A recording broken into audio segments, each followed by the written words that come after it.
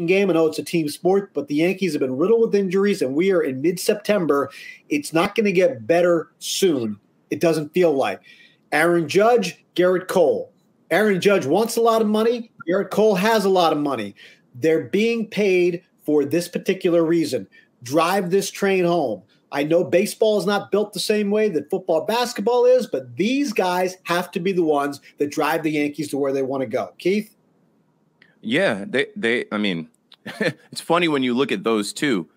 One is hyper consistent, overly consistent, like out of this world consistent yeah. with his approach and what he does at the plate. The other one, he's got otherworldly talents, but he's not consistent enough on a uh, every outing basis. I mean, we, we give him his props for the strikeouts and we give him his props for the career that he's put together, but it's a roll of the dice with Gerrit Cole. Uh, his last outing was great.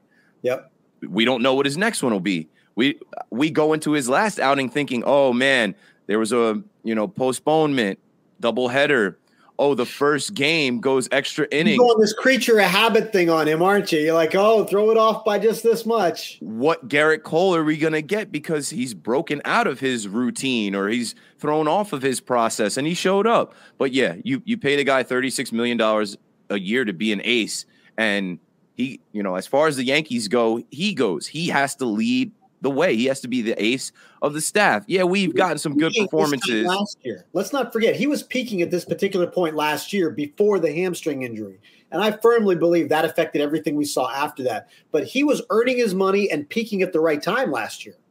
Yeah, COVID hit him. He had the hamstring, and then the Yankees faltered. I, I, I will never get over the fact that here we are with the Rays again. That last series with the Rays in the Bronx, the Yankees won one game, and they had to walk that Sunday game off. If they were able to take, they should have taken that Friday night game. That one was hard. If they take that Friday night game, they they host the wild card. Then Gerrit Cole doesn't have to be in the bullpen at Fenway with the fans right on top of him these guys have uh, stuffed animal Kermit the Frogs, and they're making fun of his voice. and then Giancarlo Stanton doesn't have to hit the ball off the green monster. Those balls go out into left field bleachers. Uh, I don't know, man. I think you know as we get down to the wire here, as we approach October, you're gonna lean on those guys, right? Because who do you have? That's why I even look at Gleyber Torres. I'm like, hey, kid, you're supposed to be a superstar. Yeah. Right. You're supposed to be one of the guys we can depend on. We need you. You can't be going 0 for 4, striking out three times, looking for a walk. So, especially when you're batting behind Judge right now, you've yeah. got to be able to produce in those. But see, that's why I'm like, all right, I don't know. Um, I don't know if Boone makes the lineups, but that's why I'm like, blame Boone.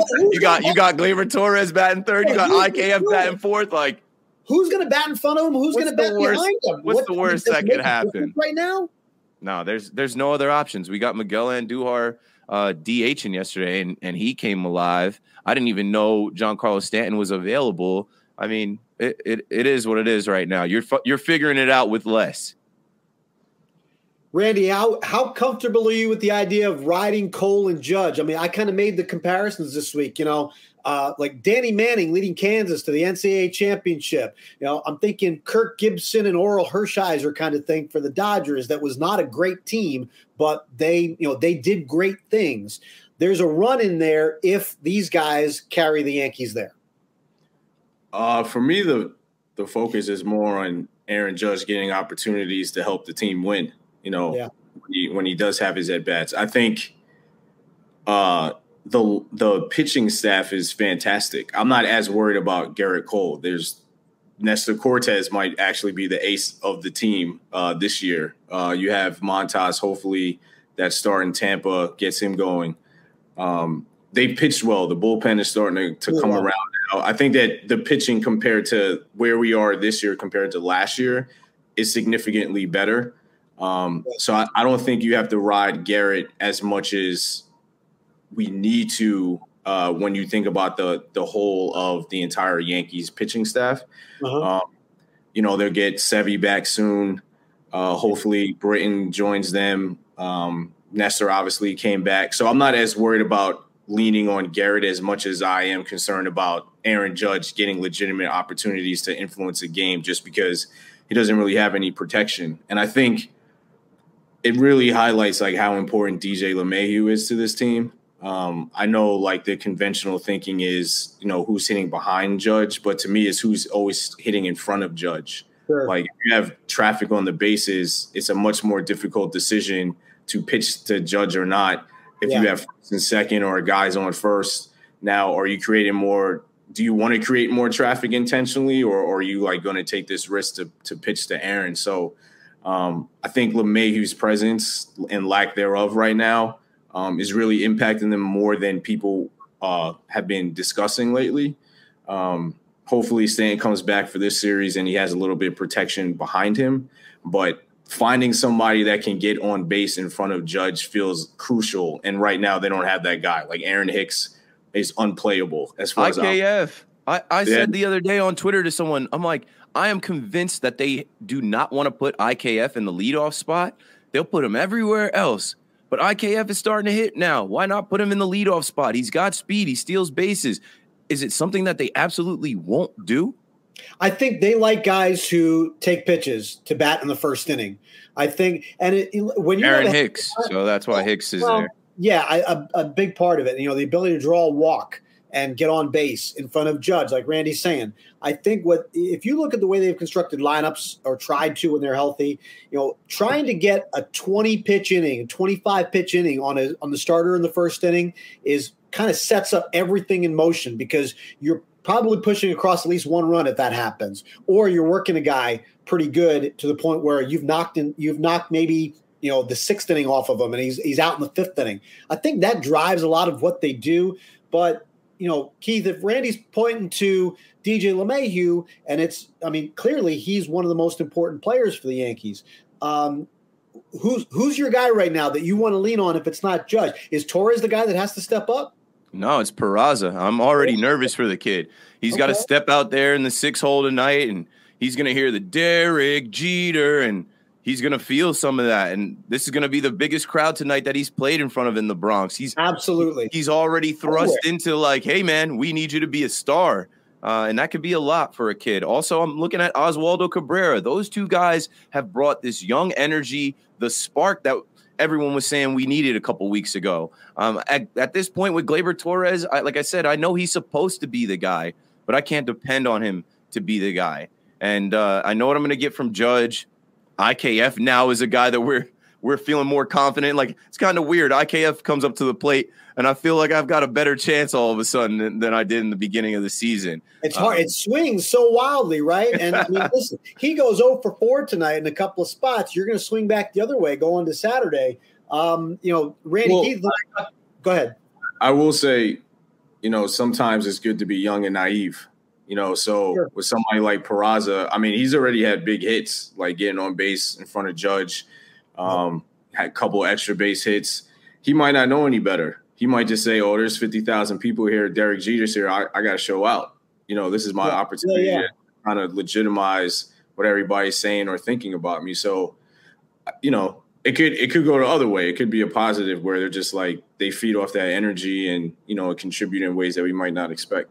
That's the thing you don't know sometimes with these guys. Because I remember uh, last year at one point when the Yankees got hit with a bunch of COVID cases, they had to rush up like three guys all at once, right?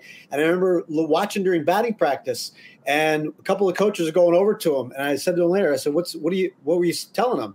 He said, "Did you see these guys when they walked out here? All they're doing is this: is they're looking around, they're looking at the upper deck, like they've never seen the third deck before. It's like, oh, whoa, okay, we got to bring these guys back in because if they're gonna, you know, they can't play." Uh, comfortably if they're if they're not comfortable in their surroundings, like like focus them in. These guys look like they are expecting to be here. Cabrera, Peraza, like they knew that this is where they wanted to be, and that moment isn't too big. But that still doesn't mean they're not going to struggle. We saw Cabrera go through what no for twenty five before that big hit. Um, he, he won a game though. I mean, you know, he he did win a game for them. And, Clutch. And Clutch Some that, of these guys got it. Yeah, and not only that, I mean, he he saved the game defensively. You know yeah. what I mean? And like after the game, when he spoke with uh, Meredith Marakovits, he just kept talking about I compete. Like the only yeah. thing I care about is competing. So I think when you have that attitude, you're not looking at the third deck. You're looking at the other team, and you're like, okay, how am I going to beat these guys? Which you know, and when we talk about Derek, that's the only thing that he thought about too. Like, how am I going to win tonight? So hopefully, Peraza and Cabrera you know, have that same mentality going into these big games this weekend. Aaron Judge is under the microscope, and earlier this week, Randy Levine, the Yankees team president, uh, talked about his contract situation a little bit on the show, a podcast with Joel Sherman and Jon Heyman from the New York Post. Um, I, listen, I wasn't surprised by anything he said. Like, I mean, you know, you're kind of almost public negotiating at that point. Why would he give anything else away? Uh, like, I looked at it as the Yankees are going to make a really good offer for Judge it's going to be up to Judge to decide if he wants that or not. I, I, think if we see that Judge doesn't come back, it's not going to be because the Yankees didn't quote offer him enough money. I think they're going to offer him plenty of money, Keith. Yeah, I went back and listened to Randy speak, and it was only 20 minutes, but uh, he he didn't say a lot. But it, if you listen to how he spoke, he he said enough, right? He said he looks at Aaron Judge, and the Yankees look at Aaron Judge as an all time Yankee. Uh, he said they're going to make a competitive offer. To me, I'm like, there is no competitive offer. You don't have to compete with anyone. You're the Yankees. That's your guy. you you outbid everyone, and you keep your guy, and you keep your guy happy. Yeah. Um, you know, and and they also he also spoke to, uh, you know, the difference that like fans I don't think uh, realize like like there's there's Hal Steinbrenner, there's Cashman, right? There's there's different um there's different responsibilities and you know, when free agents aren't acquired, like fans want to blame Hal and say he's cheap. Uh, but you know, there's player personnel and there's guys that look at talent. And Randy said he's like, I'm not a talent evaluator. I'm not a talent guy. So I mean, I didn't take too much away from that. I think a lot of people wanted something to be mad at, um, something to yeah. to run with. But all in all, I really do think that Aaron Judge is going to stay a Yankee. Um, and that's the last thing I'll say about Randy Levine. He also kind of hinted at the fact that the Yankees offer more than the other 29 baseball teams can offer because he's being a Yankee. And he talked yeah. about, you know, Babe Ruth and Roger Maris and uh, this home run chase and Aaron doing that in the Yankees uniform. And I don't know. I think he's the next captain. I think he's going to make $300 million. I think he's going to sign an eight, maybe nine year contract. And the Yankees know that he is everything for their team and their business and their brand right now.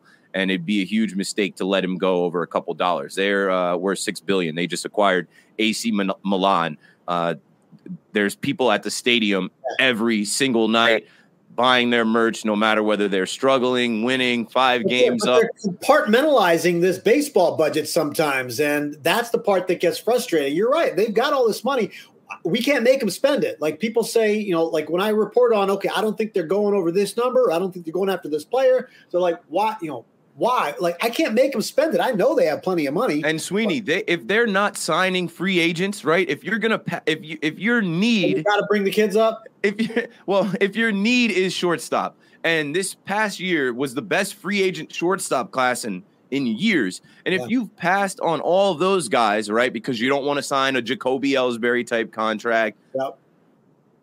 who are you going to pay? You pay an Aaron Judge. Yes. You pay your own. If you're not going to pay somebody from the outside that comes in, this is a guy that you know can play here. This yeah. is a guy that you know handles himself well off the field, knows how to speak to the media. Like this is the guy that you pay. If you're not paying free agents, this is a guy that you pay and he's a guy that that brings people together. I mean, he's got a different kind of personality, and like you know, Randy, I like you know, you got into a little bit of Jeter's leadership and his style of leadership in this doc, you know, and I I think you know, and even looking back, you could tell that that Derek regretted some of those choices and actions as a leader. And I think Judge is a different kind of person. He has a different kind of personality that that I think embraces that side of it maybe more than Derek did.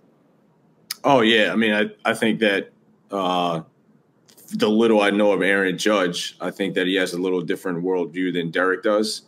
Um, I think everything that Derek did was in the, the prism of trust and loyalty and um, you know being comfortable around people. And just because I think of his experiences growing up in in Michigan, I think that that really painted the way that he looked at the world and how he was going to interact with others.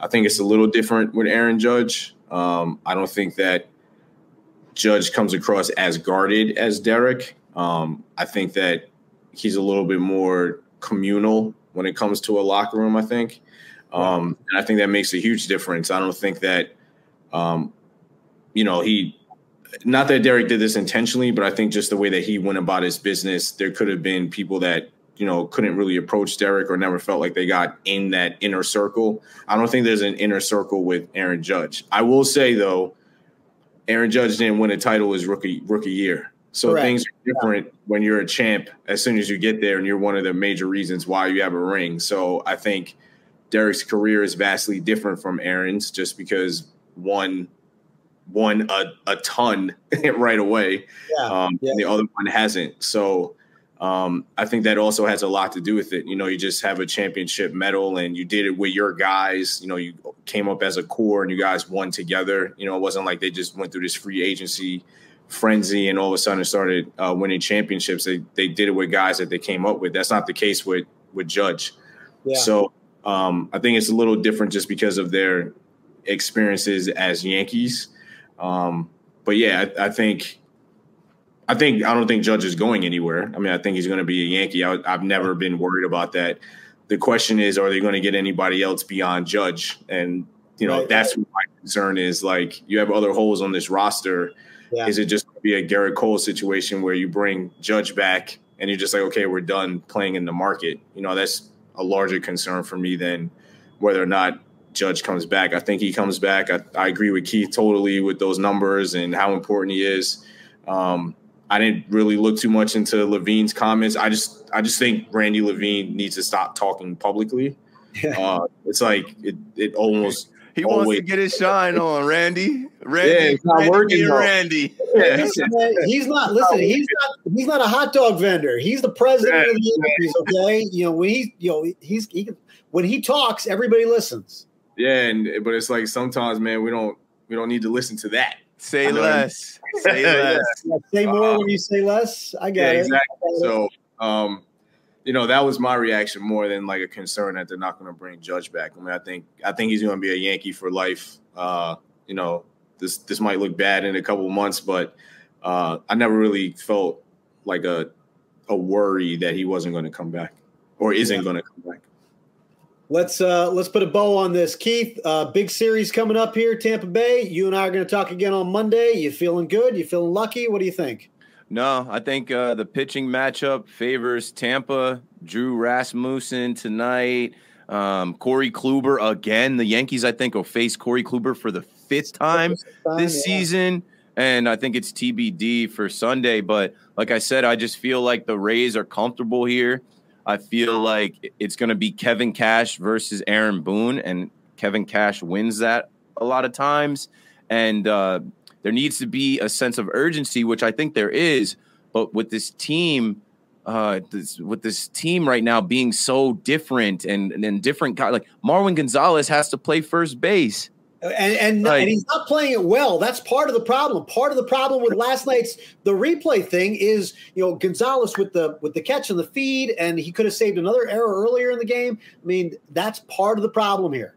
You know, they're not. They have. They don't have enough players for the right positions need a little bit of luck. Um, but I know, you know, what can happen will. And uh, the, the, Yankees got lucky this week already. They got lucky running those lineups out against the Twins. the Twins were in town, the, right? the Twins cooperate. The Rays do not. So I'm not. I'm not optimistic going into this series. I think yeah. this is the series where we see that that lead uh, shrink down. And uh, it won't be panic time, but it'll certainly be worry time. What I'll say is, is this to put a bow on it. Tampa, go look at Tampa's schedule after they face the Yankees. So, you know, They've they might knock us down a little bit, but then they've got to go. They've got to go face Toronto and Houston a ton. So yes, yeah. So it's gonna play. It's gonna work out a little bit. Uh, Randy, you feeling good? You first of all, you excited for tonight, and you feeling good? I'm very excited for tonight. I'm happy that the fans and Derek will uh, say hello once again, and you know, uh, share show love and share love with one another. So I think that that's great. And um, yeah, I mean, I I feel confident. Like, I mean, I just feel like if sometimes if you just compete, good things happen. So I think that I don't think that the Rays have that much of a pitching advantage. Um, I think Montas has been great against the Rays all year. Um, he's kind of been their version of Cl- Corey Kluber. You know, they yeah, can't yeah. really figure him out. Um, and you just got to compete. I mean, I, I, always feel comfortable and confident. Uh, so I, I, just don't think the Rays are a great team. So I don't think that you know they're yeah, going to do things to like make this like insurmountable or something like that. I think there'll be competitive games, and I am worried about Boone. But uh, beyond that, I think if the Yankees can execute a little bit more than the Rays, they'll be fine. I mean, I think it just comes down to winning at the margins uh, outside the of the majors. So the Rays are a worrisome team. They're not a great team. You know, and right. that's maybe that probably is Wander Franco. Yeah, telling you, Wander, Wander Franco is out there. They're different and has uh, how long is it going to take for him to get his stride right? He hasn't been out there for a little while so we'll see what happens. And maybe by the time you and i talk next week keith uh, harrison bader will be part of this. We'll get into that yeah. because you know you know randy mentioned defense. You know this is this that's what this deal was about is doubling down on defense. And we'll see if he becomes part of this by the time we get to this next week. Randy can't thank you enough. Congratulations on all the success this summer uh, and enjoying uh, or trying to enjoy the yankee season. The captain is available to stream still on espn plus correct? Yep all seven episodes. Fantastic. Um, it was wonderful to watch the first time, and I know that uh, many people are watching it over and over again. And thanks for uh, not leaving me all on the editing room floor. Uh, much appreciated. Uh, Keith, have a great weekend. Uh, we will talk on Monday and wrap up this series. This is BXB, Bronx Baseball, new podcast from Audacy, and it is available on all your favorite podcast platforms. Make sure, sure to follow, subscribe, and review and all that jazz.